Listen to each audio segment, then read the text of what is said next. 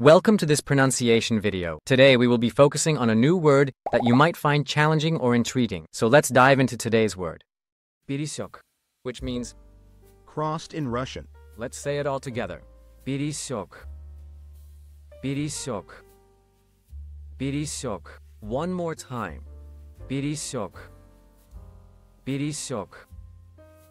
Peresek.